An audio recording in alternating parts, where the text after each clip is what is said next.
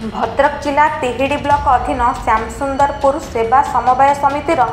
ସମ୍ପାଦକ କାଳିନ୍ଦୀ ଚରଣ ଦାସଙ୍କୁ ବେଆଇନ ଭାବେ ସଭାପତି ନିଲମ୍ବନ କରିଥିବା ଅଭିଯୋଗ କରି ବାଲେଶ୍ୱର ଭଦ୍ରକ ସେବା ସମବାୟ କର୍ମଚାରୀ ସଂଘ ପକ୍ଷରୁ ଏକ ସାମ୍ବାଦିକତା ସମ୍ମିଳନୀ ଅନୁଷ୍ଠିତ ହୋଇଯାଇଛି।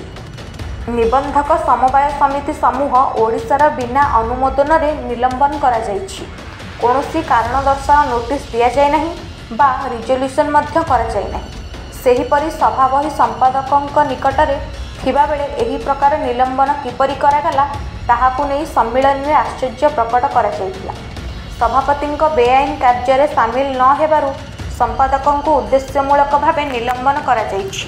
ଓ ଏହା ତୁରନ୍ତ ପ୍ରତ୍ୟାହାର କରାନଗଲେ ପ୍ରଥମେ ତିହିଡ଼ି ଓ ପରେ ଭଦ୍ରକ ଓ ବାଲେଶ୍ୱର ଜିଲ୍ଲାର ସମସ୍ତ ସମବାୟ ସମିତିକୁ ଅଚଳ କରିଦିଆଯିବ ଓ ଏହାଦ୍ୱାରା ଚାଷୀମାନଙ୍କର ଯାହା କ୍ଷତି ହେବ ସମବାୟ ସମିତିର ଅଧିକାରୀମାନେ ଦାୟୀ ରହିବେ ବୋଲି ଚେତାବନୀ ଦିଆଯାଇଥିଲା। ଶ୍ୟାମସୁନ୍ଦରପୁର ସେବା ସମବାୟ ସମିତିର ସମ୍ପାଦକ ଶ୍ରୀ କାଳନ୍ଦୀ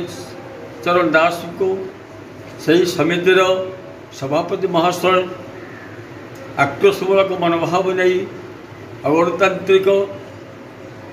ଆଉ ବେଆଇନ ଭାବେ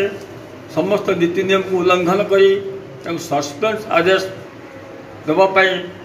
ତେଇଶ ତାରିଖ ତିନିରେ ସସ୍ପେନ୍ସ ଆଦେଶ ଦେବା ପାଇଁ ଆମେ ଜାଣିବାକୁ ପାଇଲୁ ମାନ୍ୟବର ହାଇକୋର୍ଟ ଏ ବେଆଇନ ସସ୍ପେନ୍ସ ଅର୍ଡ଼ରକୁ ସ୍ଥିତାବସ୍ଥା ବଜାୟ ରଖିବା ପାଇଁ ସମ୍ପାଦକଙ୍କର ଦେଇଛନ୍ତି କୌଣସି ଆଇନକୁ ଫଲୋଅପ୍ କରାଇନାହିଁ ବୋର୍ଡ଼ ମିଟିଂ ହେଇନାହିଁ ବୋର୍ଡ଼ ରେଜୁଲେସନ୍ ହେଇନାହିଁ ମାନେ ଉପରିସ୍ଥ କର୍ତ୍ତୃପକ୍ଷଙ୍କର ଅନୁମୋଦନ କରାଯାଇନାହିଁ